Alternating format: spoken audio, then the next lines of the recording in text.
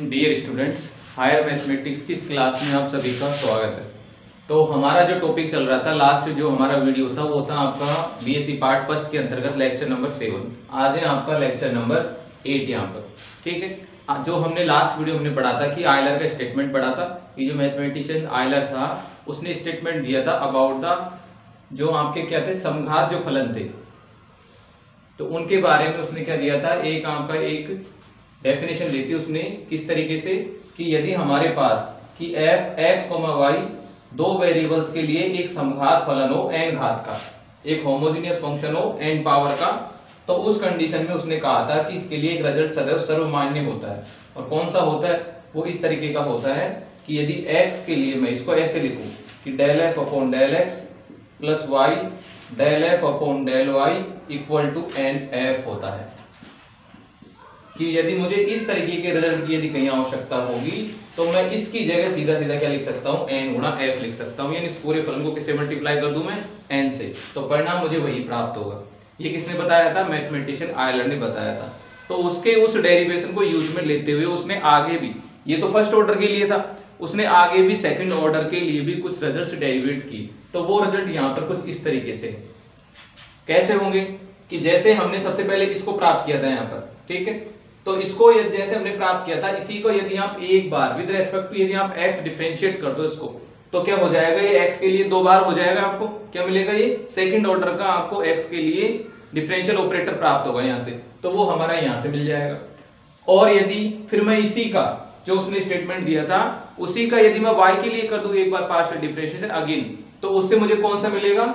जो y के लिए सेकंड ऑर्डर का है यानी ये वाला रिज़ल्ट मुझे वहाँ से प्राप्त हो जाएगा। और पहले तथा दूसरे रिज़ल्ट दोनों को यदि जोड़ दूँ तो मुझे तीसरा रिज़ल्ट भी वहाँ पर प्राप्त हो जाएगा।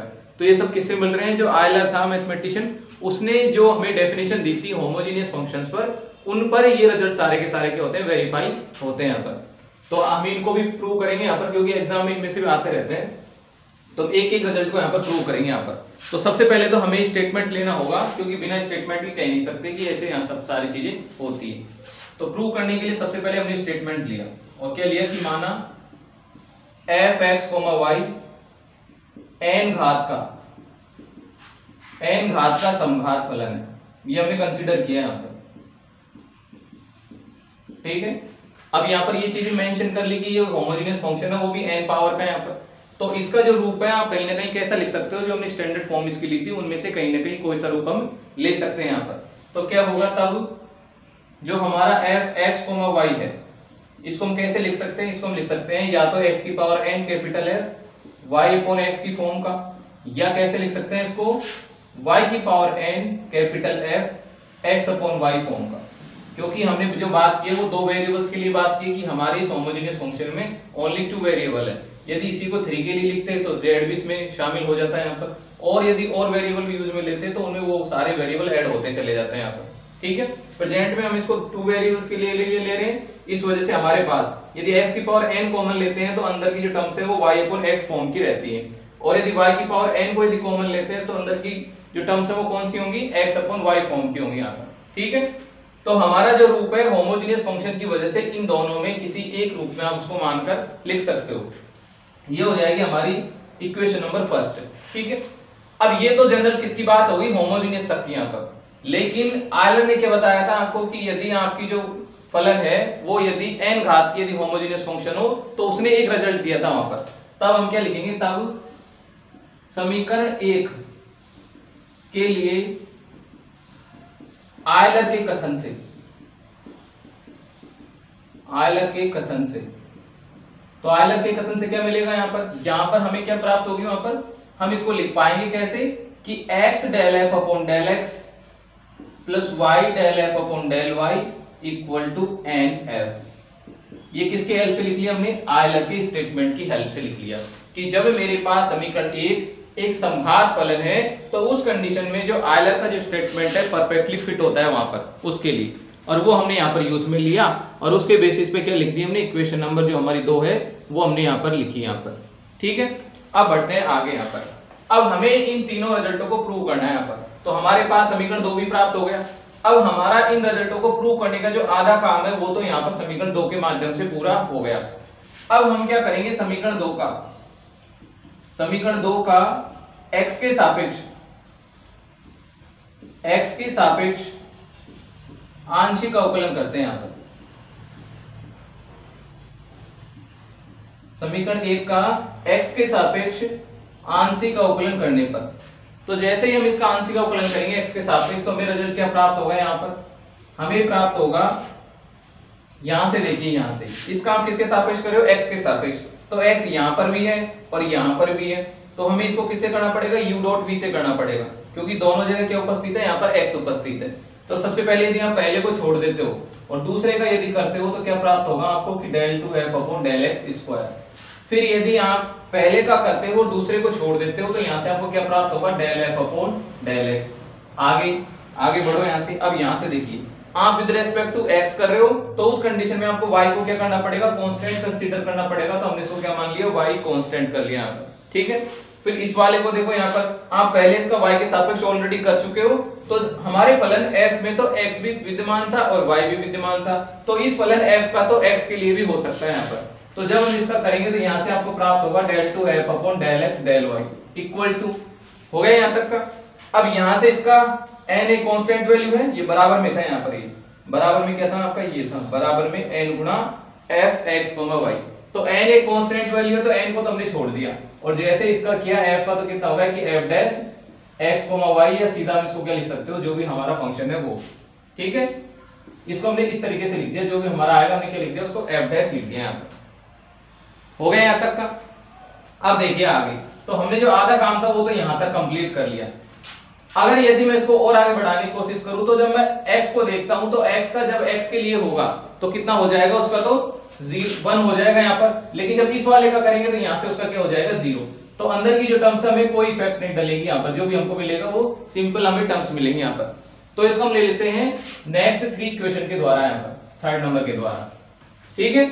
तो हमारा समीकरण दो को जो करने का, जो कार्य था, वो हमने कंप्लीट कर लिया।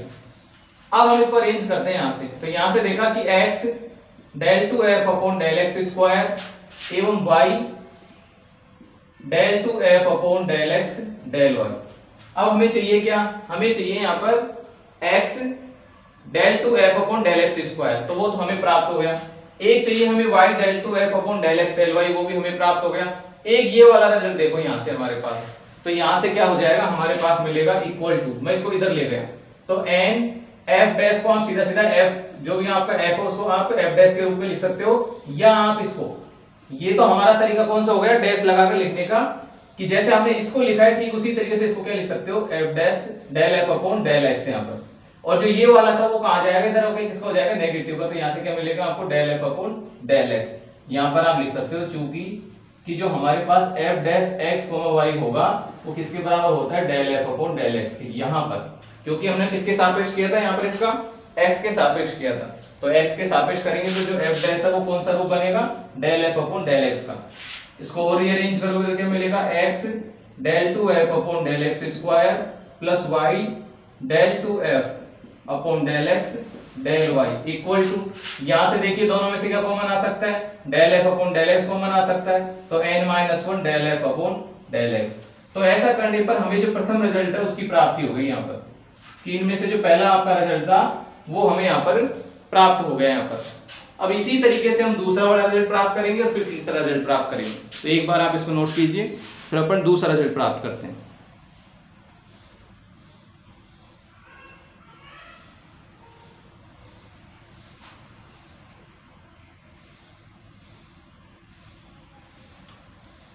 दूसरे रिज़ल्ट के लिए आपको क्या करना पड़ेगा? सिंपल आपका, आपकी बार जैसे हमने समीकरण दो का x के सापेक्ष आंशिक अवकलन किया है, आपकी बार किसके लिए करेंगे इसका? Y के सापेक्ष।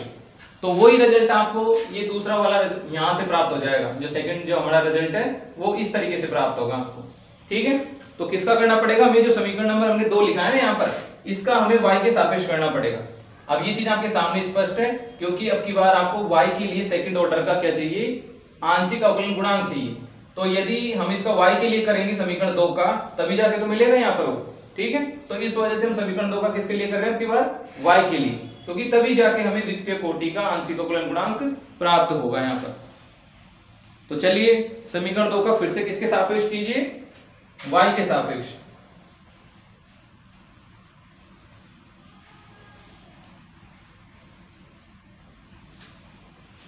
तो मैंने फिर से लिखा पुनः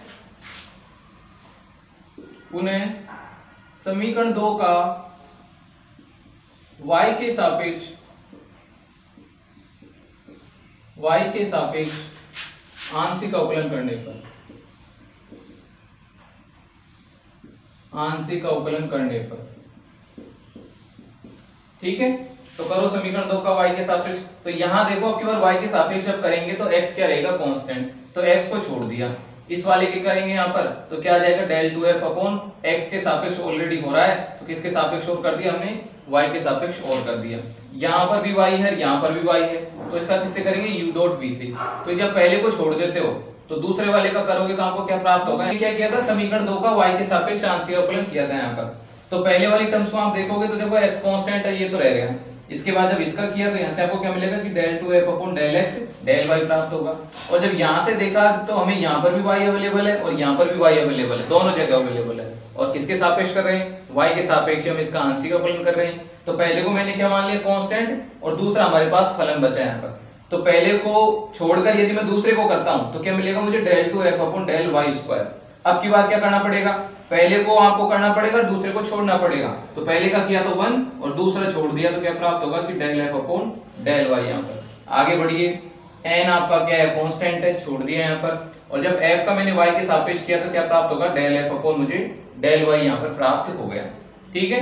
तो इस तरीके से हमें समीकरण दो का y के सापेक्ष आंशिक अवकलन करने पर रिज़ल्ट प्राप्त हुआ यहाँ पर। इसको रीअरेंज कीजिए यहाँ पर।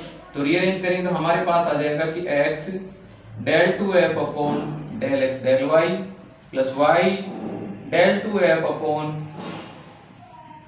del y square equal to यहाँ से मैंने इसको सोल्व यदि करता हूँ तो मुझे क्या मिलेगा? n minus one del f upon del y मुझे प्राप्त हो गया। और ये रिज़ल्ट आपका कौन सा हो गया? बी वाला पार्ट क्योंकि आपको यही चाहिए था बी वाले पार्ट में कि हमें इस रिज़ल्ट की प्राप्ति होनी चाहिए थी। और वो हमें यहाँ पर प्राप्त भी हो गया। ठीक है? तो ऐसा करने पर हमें प्रथम तथा जो द्वितीय जो रिज़ल्ट है वो हमें प्राप्त हो गए अब हमें चाहिए तीसरा रिज़ल्ट तो तीसरे रिज़ल्ट के लिए क्या करना पड़ेगा? तीसरे वाले रिज़ल्ट के लिए हमें इन दोनों रिज़ल्ट जो हमने थोड़ी देर पहले प्राप्त किए थे, कौन सा? एक तो ए वाला और एक बी वाला। उन दोनों को क्या करना पड़ेगा? जोड़ना पड़ेगा। तो पुनः समीकरण ए व बी को जोड़ने पर। ए और बी को क्या करना पड़ेगा? जोड़ना पड़ेगा। तो पहले तो हमने क्या किए थे? दोनों को, एक को एक्स के सापेक्ष आंशिक अवकलन किया था, एक को वाई के सापेक्ष किया था तो हमें रिज़ल्ट इस तरीके से मिले थे। अब की बार हम क्या कर रहे हैं? दोनों को जोड़ रहे हैं और जोड़कर तीसरा रिज़ल्ट यहाँ पर प्राप्त करना चाहते हैं। तो दोनों को यदि मैंने जोड़ा यहाँ पर तो क्या प्राप्त होगा मुझे? यहाँ से देखिए ए वाले पार्ट से देखिए क्या मिलेगा? X del two upon del x square और दूसरे से क्या मिलेगा? यहाँ से y del two upon del y square और यहाँ से भी x के लिए है और यहाँ से भी किसके लिए? y के लिए। लेकिन इससे हमारे दोनों जो अंदर की टर्म्स है, वो जुड़ नहीं पा रही और जुड़ने पर हमें जो 2xy की जो टर्म्स मिलनी चाहिए थी, वो भी हमें प्राप्त नहीं हो रही है। एक बात और, हमें एक्स स्क्वायर की टर्म चाहिए और यहाँ पर वाई स्क्वायर की टर्म चाहिए। वो भी हमें प्राप्त नहीं हो रही यहाँ पर। ठीक है? तो उनके लिए हमें क्या करना चाहिए कि समीकरण एक को, समीकरण ए है, उसको तो किससे मल्टीप्लाई करना पड़ेगा? एक्स से। और जो बी वाला पार्ट है, उसको किससे मल्टीप्लाई करना पड़ेगा? वाई से। तब जाके हमें ये रिज़ल्ट मिलेगा यहाँ पर। तो यही काम हमने किया कि पहली वाली को x से मल्टीप्लाई किया और दूसरी वाली को किससे मल्टीप्लाई किया? Y से। तो कीजिए और जोड़िए। तो पहली वाली को जब हमने मल्टीप्लाई किया तो हमारे पास आ गया x square del two f upon del x square और क्या मिला? और हमें मिला x y del two f upon del x del y और क्या मिलेगा? बराबर में आगे जाके हमें मिला यहाँ पर एन माइनस वन और प्राप्त हो गया x del f upon del x ये तो यहाँ से हो गया। लेकिन हमने गड़बड़ कर दी हमें इसको जोड़ना था तो दूसरी टर्म्स को भी इसके साथ साथ ही जोड़ लो, ताकि हमें एक लाइन और नहीं लिखनी पड़ेगी। तो यहाँ से दूसरे वाले को किससे मल्टीप्लाई करेंगे वाई से। तो वाई से करेंगे तो यहाँ क्या मिलेगा? X y del two f upon del x del y plus y square del two f upon del y square equal to अब देखिए पहली वाले को किससे मल्टीप्लाई किया था? X से। तो हमने लिख दिया कि x del f upon del x दूसरे वाले को किससे मल्टीप्लाई किया था? Y से। तो लिख दिया y del f upon del y हो गया? सभी को हमने अब क्या कर लिया? जोड़ दिया यहाँ पर। समीकरण ए को एक्स से मल्टीप्लाई किया था और बी को किससे मल्टीप्लाई किया था? वाई से। और दोनों को जोड़ दिया। जोड़ने के बाद हमारा रिज़ल्ट ये हमें मिला। अब देखिए आगे।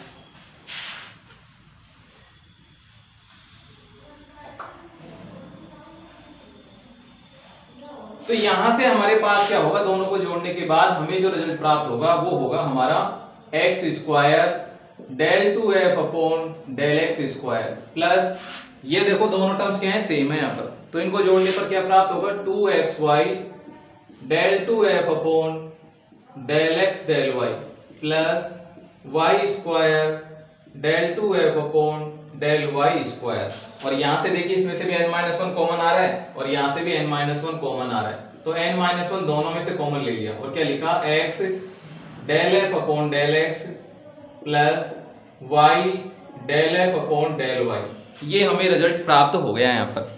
ठीक है?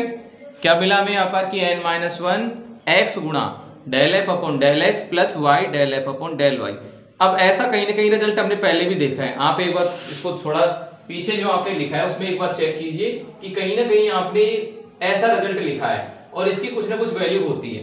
तो वो हमारी जो समीकरण नंबर हमने दो लिखी थी, यानी आयलर का जो स्टेटमेंट था, उसके बेसिस पे इसकी वैल्यू कितनी होगी? एन एफ़ होगी। तो क्या लिख सकते हैं इसको? एन माइनस वन गुणा एन और डॉट एफ़ एफ़ हमारा ये था। रीअरेंज करूँ तो एन गुणा एन माइनस वन गुणा एफ़ और यही हमें चाहिए था यहाँ पर तीसरे रिज़ल्ट के रूप में। तो जो हमें चाहिए था, वो हमें यहाँ पर प्राप्त हो गया। कि x square del two f upon del x square plus two x y del two f upon del x del y और plus y square del two f upon del y square तो इस तरीके से तीनों result हमें यहाँ पर प्राप्त हो गए तो ये आपका कौन सा हो गया? पार्ट सी तो हमने देखा कि आयलर की स्टेटमेंट के बेसिस पर हम जो सेकंड ऑर्डर के जो आंशिक गुणांक है वो संघात फलनों जो यदि हो तो उनके लिए तीन प्रकार के विशेष जो रिज़ल्ट है, उनकी भी हम प्राप्ति कर सकते हैं यहाँ पर। ठीक है?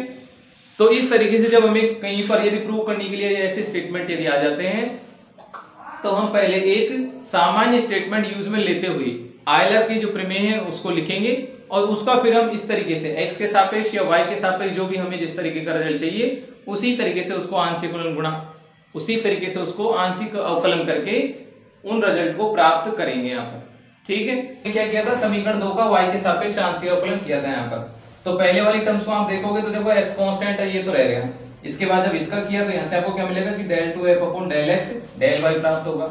और जब यहाँ से देखा तो हमें यहाँ पर भी वाई अवेलेबल है और यहाँ पर भी वाई अवेलेबल है। दोनों जगह अवेलेबल है। और किसके सापेक्ष कर रहे हैं? वाई के सापेक्ष हम इसका आंशिक अवकलन कर रहे हैं। तो पहले को मैंने क्या मान लिया? कांस्टेंट और दूसरा हमारे पास फलन बचा है यहाँ पर। तो पहले को छोड़कर यदि मैं दूसरे को करता हूँ तो क्या मिलेगा मुझे del two f upon del y square? अब की बात क्या करना पड़ेगा? पहले को आपको करना पड़ेगा, दूसरे को छोड़ना पड़ेगा। तो पहले का किया तो वन और दूसरा छोड़ दिया तो क्या प्राप्त होगा कि del f upon del y यहाँ पर। आगे बढ़िए। एन आपका क्या है? कॉन्स्टेंट है, छोड़ दिया यहाँ पर। और जब एफ़ का मैंने वाई के सापेक्ष किया तो क्या प्राप्त होगा? डेल एफ़ अपॉन मुझे डेल वाई यहाँ पर प्राप्त हो गया। ठीक है? तो इस तरीके से हमें समीकरण दो का y के सापेक्ष आंशिक अवकलन करने पर रिज़ल्ट प्राप्त हुआ यहाँ पर। इसको रीअरेंज कीजिए यहाँ पर। तो रीअरेंज करेंगे तो हमारे पास आ जाएगा कि x del two f upon del x del y plus y del two f upon del y square equal to यहाँ से मैंने इसको सोल्व यदि करता हूँ तो मुझे क्या मिलेगा? N minus one del f upon del y मुझे प्राप्त हो गया। और ये रिज़ल्ट आपका कौन सा हो गया? बी वाला पार्ट क्योंकि आपको यही चाहिए था बी वाले पार्ट में कि हमें इस रिज़ल्ट की प्राप्ति होनी चाहिए थी और वो हमें यहाँ पर प्राप्त भी हो गया। ठीक है? तो ऐसा करने पर हमें प्रथम तथा जो द्वितीय जो रिज़ल्ट है वो हमें प्राप्त हो गई। अब हमें चाहिए तीसरा रिज़ल्ट तो तीसरे रिज़ल्ट के लिए क्या करना पड़ेगा? तीसरे वाले रिज़ल्ट के लिए हमें इन दोनों रिज़ल्ट जो हमने थोड़ी देर पहले प्राप्त किए थे, कौन सा? एक तो ए वाला और एक बी वाला। उन दोनों को क्या करना पड़ेगा? जोड़ना पड़ेगा। तो पुनः समीकरण ए व बी को जोड़ने पर। ए और बी को क्या करना पड़ेगा? जोड़ना पड़ेगा। तो पहले तो हमने क्या किए थे? दोनों को, एक को एक्स के सापेक्ष आंशिक उपलन किया था, एक को वाई के सापेक्ष किया था तो हमें रिज़ल्ट इस तरीके से मिले थे। अब की बार हम क्या कर रहे हैं? दोनों को जोड़ रहे हैं और जोड़कर तीसरा रिज़ल्ट यहाँ पर प्राप्त करना चाहते हैं। तो दोनों को यदि मैंने जोड़ा यहाँ पर तो क्या प्राप्त होगा मुझे? यहाँ से देखिए। ए वाले पार्ट से देखिए क्या मिलेगा? X del two upon del x square और दूसरे से क्या मिलेगा? यहाँ से y del two upon del y square और यहाँ से भी x के लिए है और यहाँ से भी किसके लिए? Y के लिए. लेकिन इससे हमारे दोनों जो अंदर की टर्म्स है, वो जुड़ नहीं पा रही और जुड़ने पर हमें जो टू एक्स वाई की जो टर्म्स मिलनी चाहिए थी, वो भी हमें प्राप्त नहीं हो रही है। एक बात और, हमें एक्स स्क्वायर की टर्म चाहिए और यहाँ पर वाई स्क्वायर की टर्म चाहिए। वो भी हमें प्राप्त नहीं हो रही यहाँ पर। ठीक है? तो उनके लिए हमें क्या करना चाहिए कि समीकरण एक को समीकरण ए है, उसको तो किससे मल्टीप्लाई करना पड़ेगा? एक्स से। और जो बी वाला पार्ट है, उसको किससे मल्टीप्लाई करना पड़ेगा? Y से। तब जाके हमें ये रिज़ल्ट मिलेगा यहाँ पर। तो यही काम हमने किया कि पहली वाली को x से मल्टीप्लाई किया और दूसरी वाली को किससे मल्टीप्लाई किया? वाई से। तो कीजिए और जोड़िए। तो पहली वाले को जब हमने मल्टीप्लाई किया तो हमारे पास आ गया x square del two f upon del x square और क्या मिला? और हमें मिला x y del two f upon del x del y और क्या मिलेगा? बराबर में आगे जाके हमें मिला यहाँ पर एन माइनस वन और प्राप्त हो गया x del f upon del x ये तो यहाँ से हो गया। लेकिन हमने एक गड़बड़ कर दी हमें इसको जोड़ना था तो दूसरी टर्म्स को भी इसके साथ साथ ही जोड़ लो, ताकि हमें एक लाइन और नहीं लिखनी पड़ेगी तो यहाँ से दूसरे वाले को किससे मल्टीप्लाई करेंगे? वाई से। तो वाई से करेंगे तो यहाँ क्या मिलेगा? X y del two f upon del x del y plus y square del two f upon del y square equal to अब देखिए, पहली वाले को किससे मल्टीप्लाई किया था? एक्स से तो हमने लिख दिया कि x del f upon del x दूसरी वाले को किससे मल्टीप्लाई किया था? Y से तो लिख दिया y del f upon del y हो गया? सभी को हमने अब क्या कर लिया? जोड़ दिया यहाँ पर। समीकरण ए को x से मल्टीप्लाई किया था और बी को किससे मल्टीप्लाई किया था? वाई से। और दोनों को जोड़ दिया। जोड़ने के बाद हमारा रिज़ल्ट ये हमें मिला। अब देखिए आगे।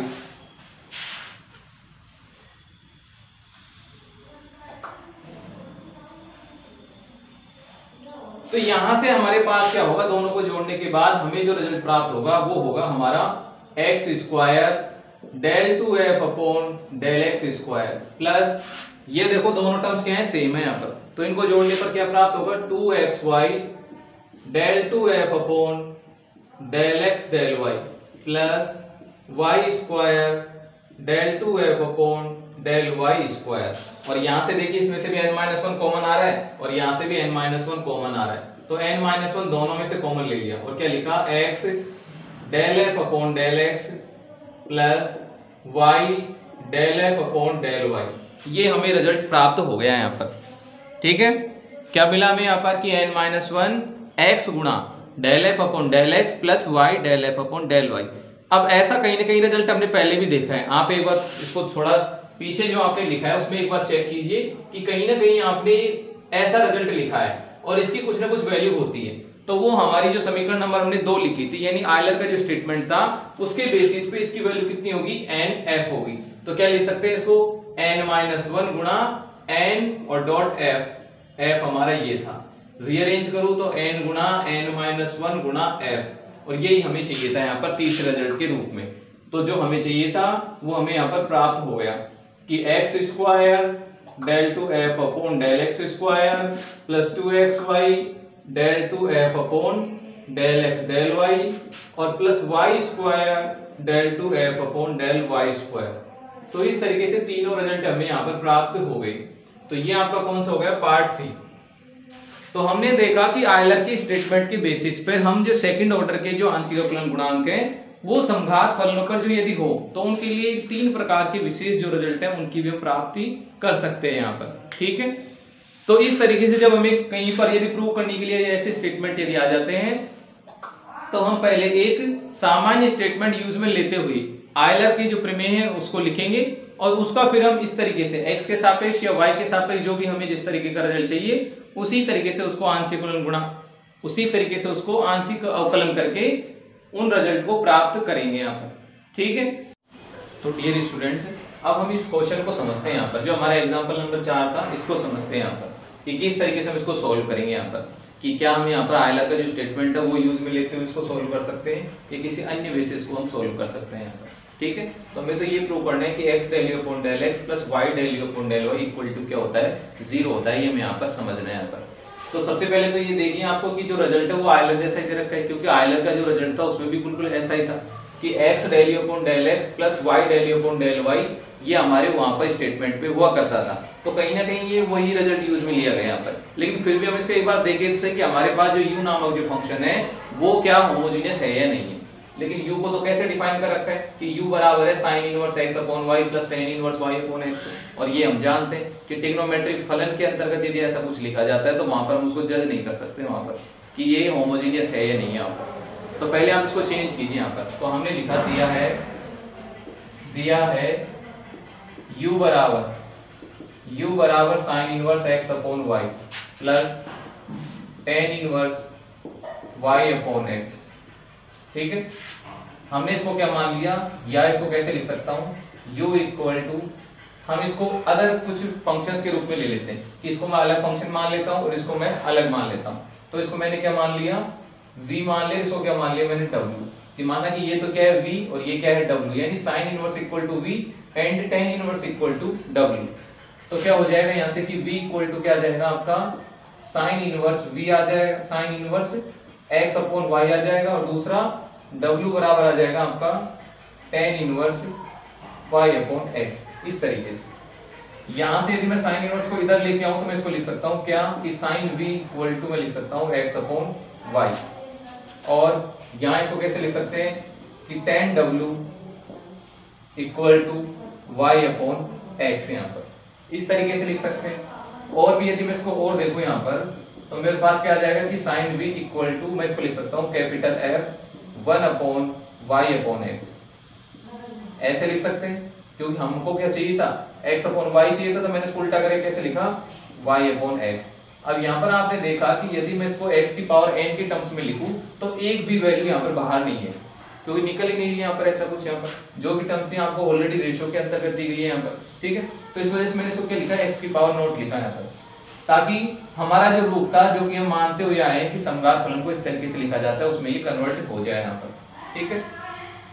दूसरा यहाँ देखा जाए तो यहाँ इसको कैसे लिख सकते हैं कि tan w को हम कैसे लिख सकते हैं कि tan w इक्वल टू ये भी आपका क्या आ जाएगा x नॉट कैपिटल यदि मैं इसको एफ़ वन कह पाता हूँ तो इसको मैं क्या कह दूँगा एफ़ टू और यहाँ पर क्या आ जाएगा वाई एफ़ x तो दोनों के दोनों जो रूप है आपके, वो उस तरीके के हो गए यहाँ पर। तो यहाँ से आप लिख सकते हो, अर्थात sine v sin v zero घात का। साइन v ज़ीरो घात का संघात फलन है। यहाँ पर तो क्या आ जाएगा साइन वी क्योंकि हमारा फ़ंक्शन वहाँ पर एफ़ हुआ करता था कि एफ़ इतने घात का है, वो लिखते थे। अब यहाँ पर आपको क्या मिल गया? क्योंकि ये भी तो वही है कि जहाँ इसको मानते थे कि एफ़ एक्स कोमा वाई बराबर फ़ंक्शन तो वही तो चीज़ें पर हमने इसको लिया, क्या है, लेकिन साइन वी के रूप में लिए। तो क्या लिख दिया कि साइन वी ज़ीरो घात का? तो क्या लिख दिया? साइन वी ज़ीरो घात का। अब यहाँ से देखिए, इधर को भी लिख पाएँगे, यहाँ क्या लिखेंगे? Tan W tan W zero घात का समघात फलन। तो यहाँ पर ये भी क्या आ जाएगा? ज़ीरो घात का समघात फलन हो जाएगा यहाँ पर, ठीक है? अब यदि साइन भी ज़ीरो घात का समघात फलन है तो उसको लिखेंगे कैसे आयलर पे में की कथन अनुसार?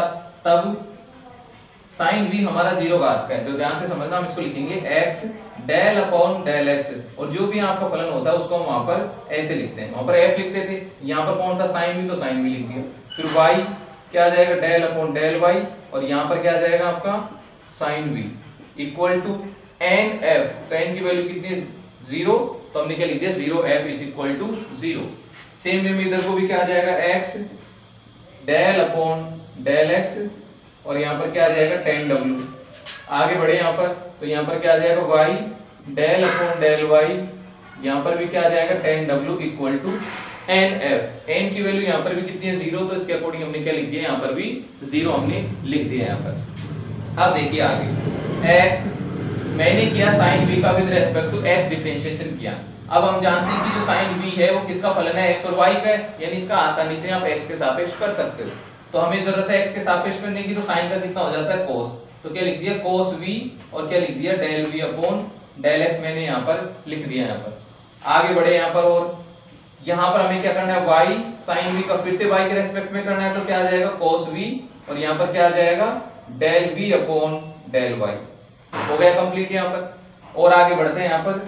तो हमें यहाँ से क्या प्राप्त होगा? इक्वल टू ज़ीरो इधर को देखा जाए तो x टेन डब्ल्यू का। टेन डब्ल्यू का क्या आ जाएगा? Sec square W tan X का कितना होता है सेक स्क्वायर एक्स तो टेन डब्ल्यू का कितना हो जाएगा sec square W and del W upon del X plus Y sec square W dot del W upon del Y equal to zero लिख दिया यहाँ पर। अब क्या करेंगे, हम इन दोनों को ऐड कर देंगे यहाँ पर, क्योंकि हमें ज़रूरत है इस रिज़ल्ट की यहाँ पर। ठीक है? तो हम क्या करेंगे, दोनों को जोड़ेंगे यहाँ पर। तो समीकरण एक को और यहाँ से इस समीकरण को। दोनों को क्या कर देंगे, जोड़ देंगे यहाँ पर। ठीक है? और फिर देखते हैं शेष पार्ट हमारा क्या आता है यहाँ पर। हो गया?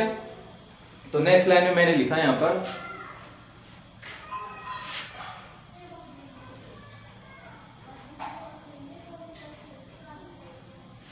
तो दोनों को यदि मैं यहाँ से जोड़ू तो यहाँ से क्या कॉमन आ जाएगा एक तो? एक तो मुझे क्या कॉमन मिल जाएगा यहाँ से? कि x कॉमन मिल जाएगा। ठीक है? और क्या कॉमन मिलेगा?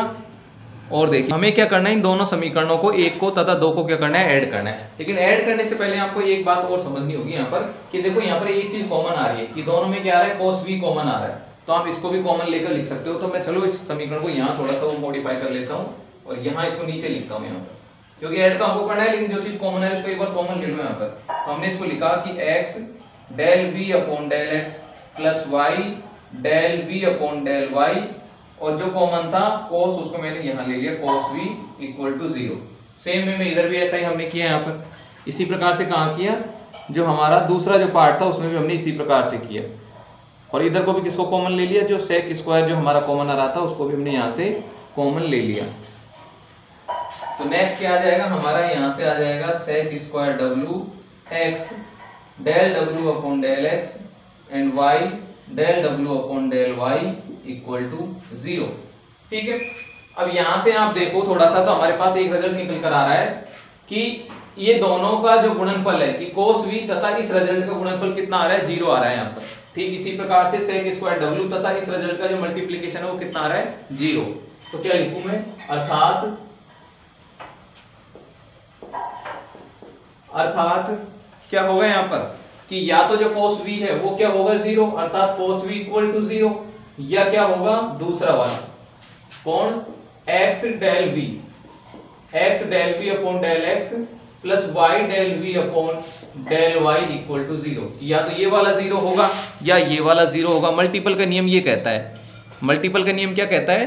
कि या तो पहले वाला ज़ीरो होगा या कौन सा होगा? सेकंड वाला। तो ये हमने यहाँ पर लिखा। ठीक है? क्या होगा यहाँ से? कि या तो जो ये वाला हमने जो लिखा था cos v, वो ज़ीरो होगा या ये वाला रिज़ल्ट ज़ीरो होगा। तो हम जानते हैं कि cos v को तो हम ज़ीरो कर नहीं सकते तो कौन होगा यहाँ पर ये वाला? क्योंकि cos v को यदि ज़ीरो कर दोगे तो यहाँ पर हमारे पास एक कांस्टेंट वैल्यू प्राप्त होगी जो कि हमारे इस रिज़ल्ट को क्या करती है? कैंसिल करती है यहाँ पर। तो इस वजह से हम क्या मान रहे हैं कि cos v की वैल्यू तो ज़ीरो होने की तो किसकी हो रही है? इसकी। क्योंकि ये डिफरेंशिएशन है तो हो सकता है यहाँ पर इनका जो वैल्यू आंसर है जो आपको क्या मिले? ज़ीरो मिले। तो यहाँ से हमारे पास आ गया x del v upon del x plus y del v upon del y equal to क्या मिल गया ज़ीरो तो ये है हमारी समीकरण नंबर एक। इसी प्रकार आप दूसरी वाली से प्राप्त कर लोगे। इसी प्रकार किससे मिलेगा? इससे। तो यहाँ से आपको क्या मिलेगा? x del w upon del x, y del w upon del y equal to zero तो ये हो गया हमारा दो नंबर। तो हमें दो रिज़ल्ट मिल गए, एक नंबर तथा दो नंबर। दोनों को मैंने ऐड किया। लिखा समीकरण एक प्लस दो। कि एक और दो को क्या करती है? हमने ऐड कर दिया, समीकरण एक तथा दो को। और जब दोनों को मैं यदि यहाँ पे ऐड करूँ तो यहाँ से हमने क्या किया? समीकरण एक तथा दो को जोड़ा यहाँ पर। समीकरण एक तथा जोड़, एक को, दो को जोड़ने पर आपने देखा कि जो एक्स वाली टर्म्स उनको एक साथ ले लो। तो क्या लिखा? X del v upon del x plus del W upon del x एक तो ये होगा एक्स की टर्म्स को एक साथ ऐड करने तो वाई कॉमन ले लिया। यहाँ पर भी del v upon del x plus del W upon y वाला आएगा ना आपकी बात, क्योंकि की टर्म से नहीं, एक बात। तो del v upon del y और del w upon del y, और बराबर में zero plus zero equal to zero तो यहाँ से हमारे पास क्या गया? एक रिज़ल्ट यहाँ मिल गया, एक रिज़ल्ट यहाँ मिल गया। तो हम जानते हैं कि यदि इस समीकरण को मैं x के सापेक्ष अवकलन कर दूँ इसका तो क्या मिलेगा मुझे? Del u upon del x equal to del v upon del x plus del w upon del x यहाँ पर। तो वो उस चीज़ को मैं यहाँ लिख रहा हूँ, क्योंकि u equal to v plus w implies that कि del u upon del x is equal to del v upon del x and del w upon del x यहाँ पर। कि जब हमने इसका x के सापेक्ष आंशिक अवकलन किया तो हमें ये परिणाम मिला यहाँ पर। इसी प्रकार से यदि दूसरा मैं लिखूं यहाँ पर, किसके लिए? Y के लिए। तो तुम, मुझे क्या मिलेगा y के लिए? कि del u upon del y equal to del v upon del y plus del v upon del y यहाँ पर। ठीक है? कि जब हमने इस वाले का किया, दूसरे वाले का तो उसके लिए भी जब हमने इसको y के सापेक्ष किया तो क्या मिलेगा? Del u upon del y del v upon del y and del w upon del y हो गया? ठीक है? अब यही रिज़ल्ट आपके यहाँ पर आपको प्राप्त हो रहे हैं कि जो ये वाला था, वो तो यहाँ आ जाएगा, और जो ये वाला था, वो यहाँ आ जाएगा। तो ऐसा करने पर हमें क्या प्राप्त होगा? x del u upon del x plus y del u upon del y equal to क्या था? ज़ीरो और यही आपको यहाँ पर दर्शाना था इस फ़ंक्शन के लिए। तो ये हमने क्या लिख दिया? हैंस प्रूव्ड यहाँ पर। ठीक है? इस तरीके से हमारा जो क्वेश्चन होगा, वो कंप्लीट होगा यहाँ पर। ठीक है?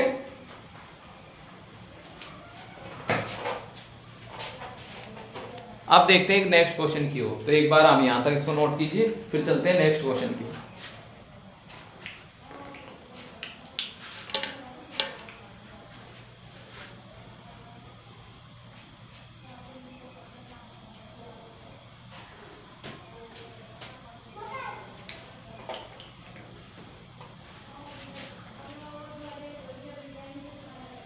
अब देखिए नेक्स्ट क्वेश्चन ये आपका एग्ज़ाम्पल नंबर फोर था ये।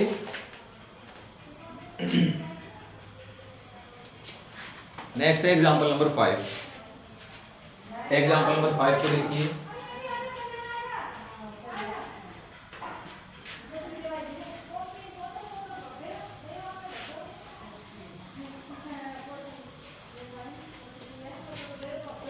एग्ज़ाम्पल नंबर फाइव में हमारा क्या होगा? यहाँ पर होगा एग्ज़ाम्पल नंबर फाइव इसमें लिखा है,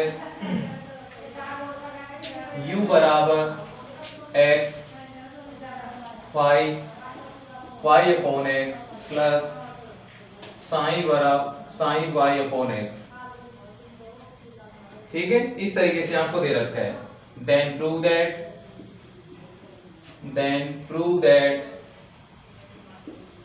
आगे आपको प्रूव करना है कि x square del two u upon del x square and two x y del two u upon del x del y या del y del x plus y square del two u upon del y square बराबर zero ये आपको prove करना है यहाँ पर। ठीक है?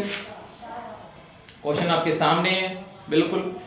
अब यहाँ पर जो रिज़ल्ट आपके सामने लिखा है यही चीज़ आपको प्रूव करनी है यहाँ पर। अब इसको करोगे कैसे? ये आपको समझना है यहाँ पर। तो हमारे पास हमें दिया गया है कि u एक फ़ंक्शन है, जो कि एक तो फाइव फ़ंक्शन है, जिसमें एक है साइन फ़ंक्शन फाइव फ़ंक्शन को देखा जाए तो फाइव फ़ंक्शन के बाहर क्या लगा हुआ है? एक्स लगा हुआ है। इसका मतलब कह सकते हैं कि फाइव जो हमारा है, वो एक घात का समघात फलन है। बट जो साइन है, वो ज़ीरो घात का समघात फलन है यहाँ पर। ठीक है? तो मैं इसको हल करता हूँ यहाँ पर, ये प्रूव करता हूँ यहाँ पर। तो मैंने इसको लिखा क्योंकि जो फाइव है वो क्या है? एक घात का। पाई, एक घात का समघात फलन। कि हमारा जो पहला फलन है पाई वो कौन सा है? एक घात का समघात फलन है। ठीक है? तो इसके लिए तो हम कुछ रिज़ल्ट लिख सकते हैं यहाँ पर। या इसको भी यदि आप कुछ और मान लो यहाँ पर, जैसे आपने पहले की तरह इसको मान लिया v और इसको मान लिया w इस तरीके से कर सकते हो। और लिख सकते हो कि v एक घात का समघात फलन है। तो जो भी आपको उचित लगे ऐसा कीजिए। तो v हमारा क्या है? एक घात का समघात फलन है तो इस चीज़ को मैंने नोट कर लिया यहाँ पर। अब एक घात का समघात फलन है तो इसको लिखेंगे कैसे यहाँ पर?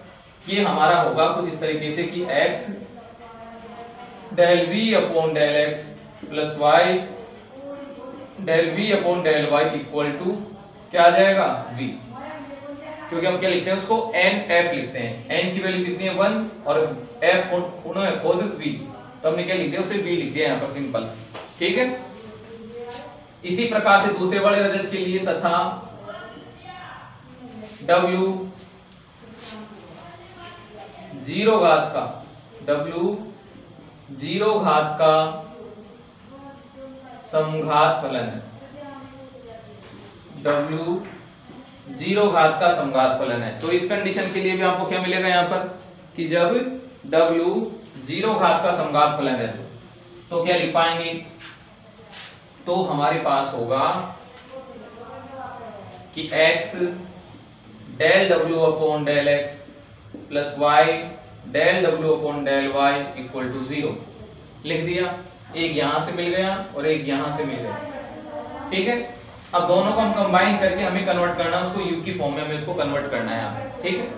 तो दोनों को कंबाइन करने के लिए हमने दोनों को क्या कर दिया? जोड़ दिया तो मैंने लिखा समीकरण एक प्लस दो। समीकरण एक व दो को जोड़ो। अब जोड़ेंगे तो देखो x कॉमन ले लिया यहाँ से, दोनों की पहली तरफ़ उसमें से।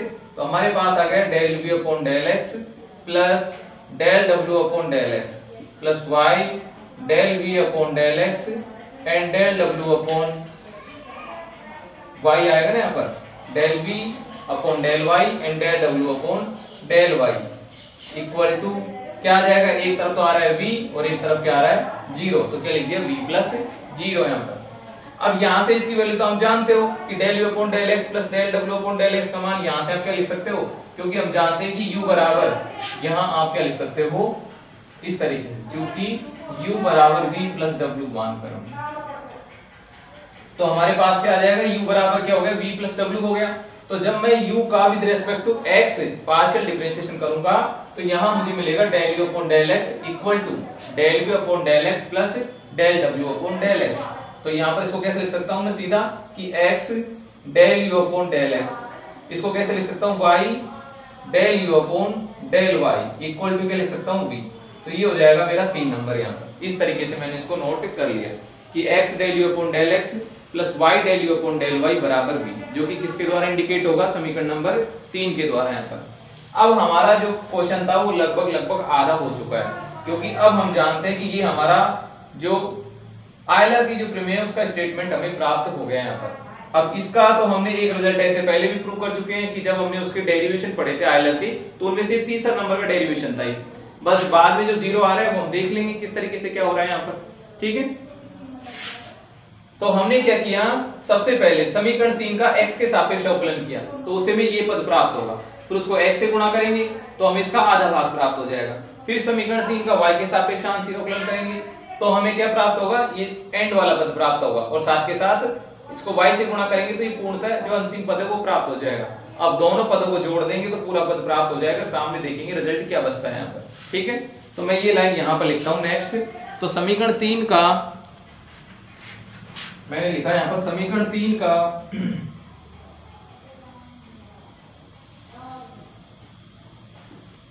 समीकरण तीन का, समीकरण तीन का हमने क्या किया? X के सापेक्ष संकलन किया। X के सापेक्ष अवकलन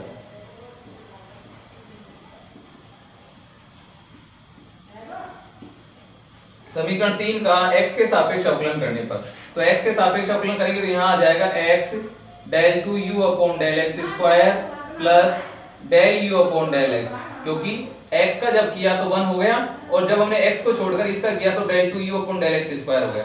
आगे बढ़ो, y यहाँ से क्या मिलेगा? Del two u upon del x del y और और आगे बढ़ू तो क्या मुझे मुझे मिलेगा? Del v upon del x मुझे यहाँ पर प्राप्त होगा यहाँ पर। ठीक है? तो हमें इसको क्या करना होगा? इस समीकरण को अभी भी x से मल्टीप्लाई और करना होगा, ताकि हमें पूरे रिज़ल्ट की प्राप्ति हो जाए वहाँ पर। ठीक है? तो मैंने क्या लिखा? समीकरण को x से गुणा करने पर। तो नेक्स्ट लाइन हम लिखते हैं, समीकरण को x से गुणा करने पर। तो आगे देखिए। आगे हमारा रिज़ल्ट होगा, समीकरण को समीकरण को x से गुणा करने पर। समीकरण को x से गुणा करने पर। तो x से हम इसको गुणा करेंगे तो यहाँ कितना आ जाएगा? एक्स स्क्वायर आ जाएगा। तो यहाँ तो आ गया x square del two u upon del x square plus यहाँ से क्या मिलेगा? x del u upon del x मिलेगा। तो उसको भी लिख दिया मैंने x del u upon del x फिर क्या आ जाएगा? एक्स वाई यहाँ से आ जाएगा del two u upon del x del y और और आगे बढ़े यहाँ से। तो यहाँ से क्या मिलेगा? बराबर x डेल v क्या आ जाएगा डेल x ठीक है? इस तरीके से हमने इसको लिख लिया यहाँ पर।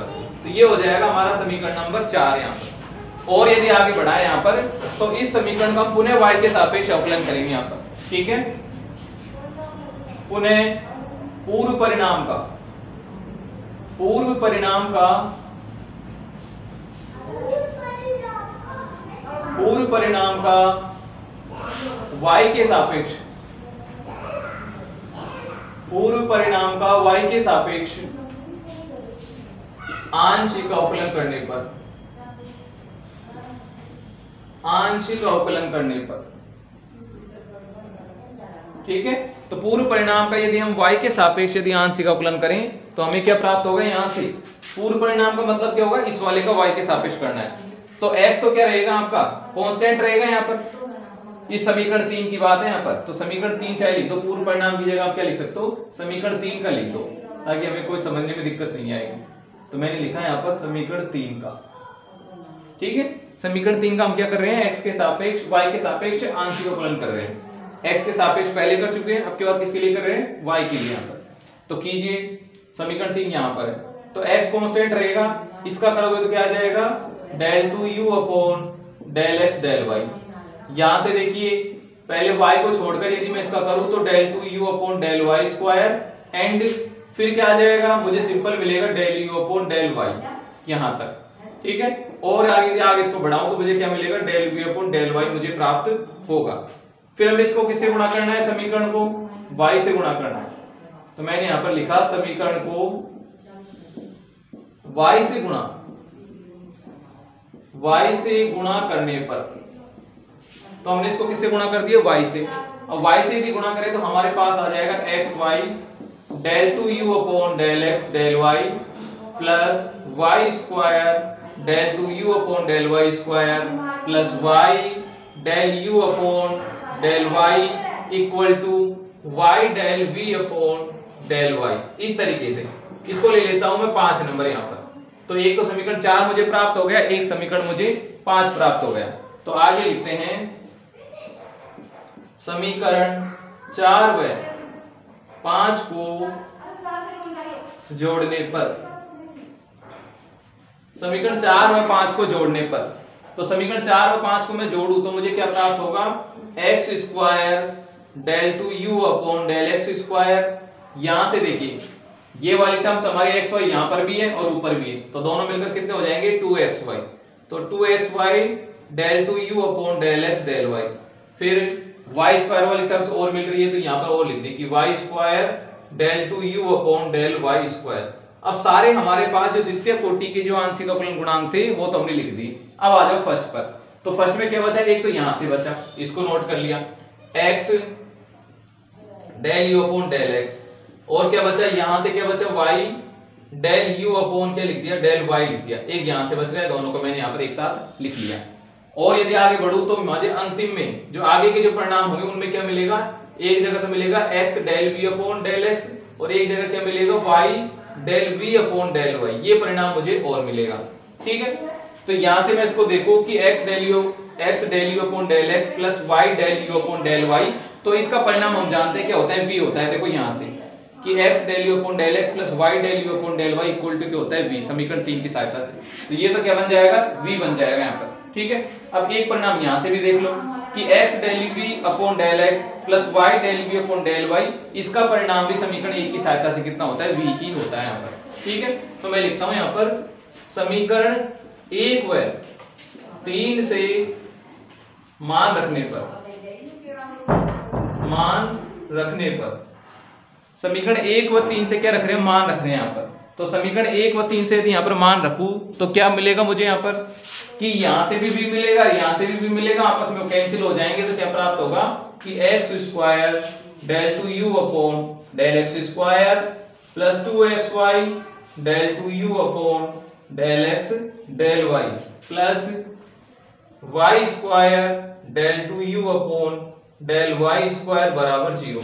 ये परिणाम मुझे यहाँ पर प्राप्त होगा। ठीक है? तो इस तरीके से यदि हमारे पास कोई भी यदि समस्या होगी तो हम इस तरीके से उसको सोल्व करके अपना परिणाम प्राप्त कर सकते हैं। तो सिंपल क्वेश्चन है, समझने में कोई दिक्कत नहीं आई होगी आपको। फिर भी यदि यदि आपको कोई दिक्कत होती है तो आप मुझे कमेंट्स में इस चीज़ को बता सकते हो। ठीक है? नोट कीजिए।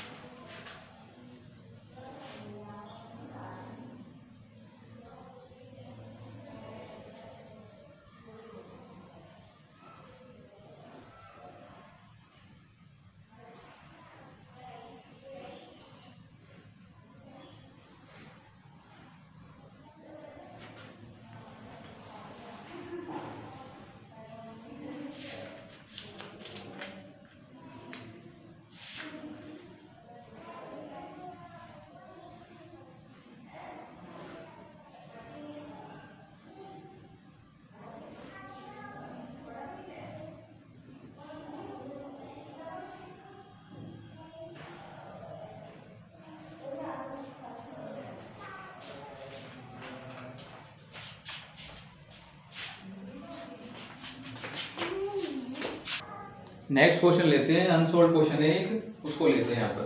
तो ये आपका अनसोल्ड क्वेश्चन नंबर है फोर एक है आपका अनसोल्ड क्वेश्चन नंबर फाइव और एक है आपका सिक्स तो तीनों एक क्वेश्चन में एक ही पैटर्न यूज़ में लिया गया है, एक बार हम एक को समझ लेते हैं और बाकी सभी की हम जानकारी करेंगे हम। Sine inverse x square plus y square upon x plus y तो सिद्ध कीजिए ये क्वेश्चन है आपका कि sine inverse sine inverse x square plus y square upon x plus y तो सिद्ध कीजिए। सिद्ध क्या करना है आपको यहाँ पर? सिद्ध कीजिए कि जो सिद्ध करना है वो यहाँ लिख देता हूँ। सिद्ध कीजिए कि x del u upon del x plus y del u upon del y equal to tan u दूसरा है question number five question number five है u equal to sine inverse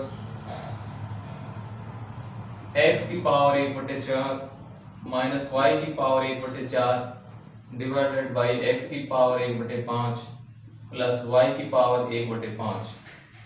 तो सिद्ध कीजिए। तो सिद्ध कीजिए कि